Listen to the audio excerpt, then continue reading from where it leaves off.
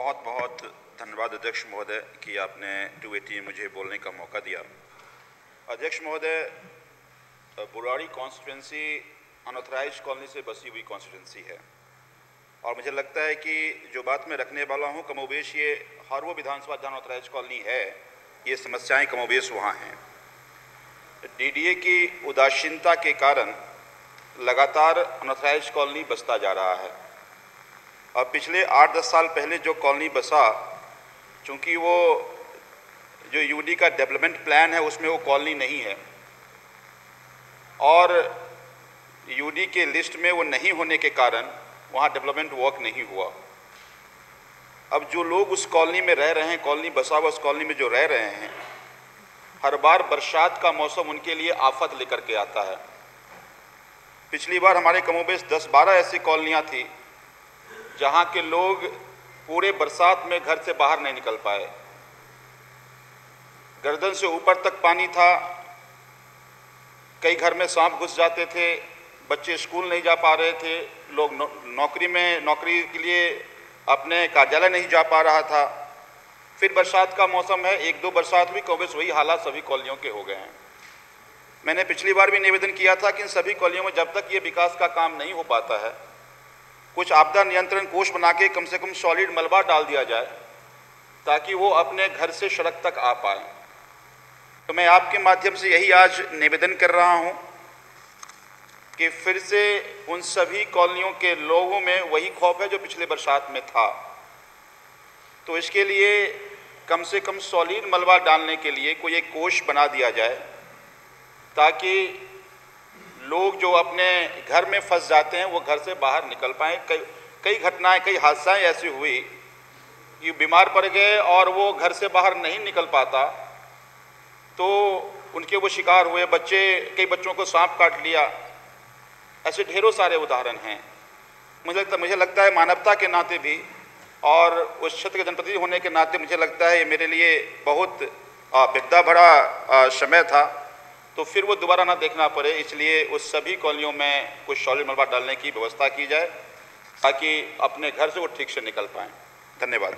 हालाँकि सारी बातें विस्तार से विशेष भाई ने बता दिया कि आखिर ये ज़रूरत क्यों थी और मैं सबसे पहले सभी साथियों को शुभकामनाएँ देता हूँ, मंत्रिमंडल को धन्यवाद देता हूँ और आपको भी धन्यवाद करता हूँ। कि सात साल के संघर्ष के बाद ही सही आज ये बिल सदन में पेश हुआ। आ, बिल्कुल ठीक कहा विशेष भाई ने कि 2015 से ये संघर्ष शुरू हुआ था। 2015 में जब ये प्रपोजल हाउस में आया उसके बाद हमारे अपोजिशन के साथी हैं। मतलब इनका प्रोपेगेंडा का मैकेनिज्म कितना स्ट्रांग है ये देखिए कि प्रपोजल आया इन्होंने कहा कि सैलरी बढ़ गई। यहाँ तक कि गूगल में भी टाइप कीजिए कि दिल्ली के विधायकों की सैलरी तो दो लाख या तीन लाख दिखा रहा था। दो लाख दस हज़ार। ये इनका झूठ का प्रोपेगेंडा का मशीन मुझे लगता है कि सात साल के बाद जब ये बिल हाउस में आए तो एक्सपोज भी हो रहा है। और देश को समझना भी चाहिए कि किस तरह से ये लोग झूठ को सच और सच को झूठ बना देते हैं और लोग उस बात को मान लेते हैं। मैं ये मानता हूँ कि अभी जो ये प्रपोजल आया है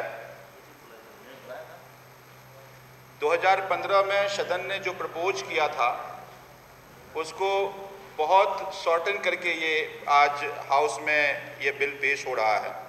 मैं कुछ स्टेट का देख रहा था सैलरी तेलंगाना का देख रहा हूँ मैं, दो लाख पचास हज़ार। उत्तर प्रदेश में देख रहा हूँ, दो लाख दस हज़ार। आंध्र प्रदेश में एक लाख पचहत्तर हज़ार। गोवा में एक लाख निन्यानवे हज़ार। हिमाचल में एक लाख नब्बे हज़ार, उत्तराखंड में दो लाख चार हज़ार। दिल्ली तो कॉस्मोपोलिटन सिटी है। यहाँ तो खर्चे उस स्टेट की अगर तुलना करें तो कई गुना ज़्यादा खर्चा है।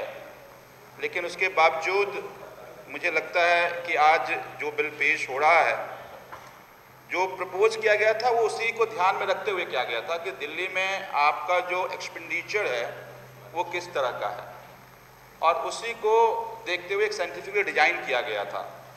लेकिन ये भी जैसे दिल्ली के साथ हमेशा होता रहा है ये केंद्र सरकार की एक आ, आ, जो राजनीति है उसका ये भेंट चढ़ गया। मैं ये मानता हूँ कि चलो आज जो कुछ भी आ, बिल के ज़रिए जो आप आपने आ, मंत्री जी ने आज सदन में पेश किया अलग अलग विधायक का मंत्री का सदन का आ, अध्यक्ष का उपाध्यक्ष का आ, हमारे लीडर ऑफ़ अपोजिशन का मैं उसका स्वागत करता हूँ। साथ में दो तीन बातें विशेष भाई ने कहा है। मुझे लगता है बहुत गंभीर और बहुत ज़रूरी है। बिल्कुल ठीक कहा सर कि अगर हम गाड़ी लेते हैं मार्केट में छः परसेंट साढ़े छः परसेंट का इंटरेस्ट रेट और यहाँ ग्यारह परसेंट का इंटरेस्ट रेट और मुझे लगता है ये सदन का अधिकार है ये। तो सदन इसको कम से कम गाड़ी लेने का जो लोन है उसको इंटरेस्ट फ्री कर दे। ताकि लोग गाड़ी खरीद सके। लिहाजा मेरा तो ये प्रपोजल ये है कि अभी दिल्ली सरकार के कैबिनेट ने यह फैसला किया है। दिल्ली सरकार के कैबिनेट ने यह फैसला किया है कि सभी व्हीकल्स जो है वो इलेक्ट्रिक व्हीकल्स होंगे। मुझे लगता है ये सदन में सभी विधायकों में भी कर दिया जाए कि इलेक्ट्रिक व्हीकल्स प्रोवाइड कैसे फ़ायदे भी हैं। एक तो पर्यावरण के संरक्षण की बात हो रही है। दिल्ली सरकार बहुत गंभीर है इस बात पे। तो वो भी पर्यावरण संरक्षण भी हो जाएगा। क्षेत्र प्रचार भी होगा। लोग सम देखेंगे प्रचार भी होगा। इलेक्ट्रिकल व्हीकल पॉलिसी का प्रचार भी होगा। और हम लोगों का आना जाना आप जान ही रहे हैं कि एक काम अगर किसी ब्यूरोक्रेट से हो गया तो एक बार जाने से होता नहीं है तो बार बार जो आना जाना लगा रहता है तो उससे उसमें जो खर्चा होता है उससे हम लोग बचेंगे। दूसरी भी प्रपोजल जो विशेष भाई ने कहा मैं उनका समर्थन करता हूँ। कि काम विधायक कार्यालय में बहुत बढ़ गया, बहुत भीड़ रहती है। तो पहली बात कि इसको दो से जिन्होंने कहा, उसको चार कर दिया जाए। और साथ में हमने आपको चिट्ठी लिख के भी दिया था और सब मुझे, कई सारे विधायक ने कहा था कि अब भीड़ भाड़ होने के कारण बहुत सारी समस्याओं का सामना करना पड़ता है। तो हमने कहा था कि सिविल डिफेंस का स्टाफ को नियुक्त कर दिया जाए। मैं ये मानता हूँ कि सदन के अधिकार क्षेत्र में है इसके लिए हमें मंत्री या कैबिनेट के पास जाने की ज़रूरत नहीं है। आप हमारे इस सदन के मुखिया हैं और सदन के अधिकार के क्षेत्र का विषय है तो इसको लगातार विधायक बहुत वर्षों से उठाते रहे इसको इम्प्लीमेंट कर दिया जाए। अभी आंगनबाड़ी का आ, वो प्रोटेस्ट हो रहा था। हर एक विधायक ऑफ़िस जाकर उन्होंने तोड़फोड़ किया मारपीट की तो बड़ी मुश्किल हो जाती है। उससे अपने आप को सुरक्षित रखना या आ, आ, उसको प्रोटेक्ट करना। तो वो भी अगर साथ में ऐड हो जाए तो मैं मानता हूँ कि ये अच्छा रहेगा। तो ज़्यादा ना कहते हुए बस मैं आ, आपका और अपने कैबिनेट का आभार व्यक्त करता हूँ कि आज ये बिल सदन में पेश हुआ। बहुत बहुत धन्यवाद।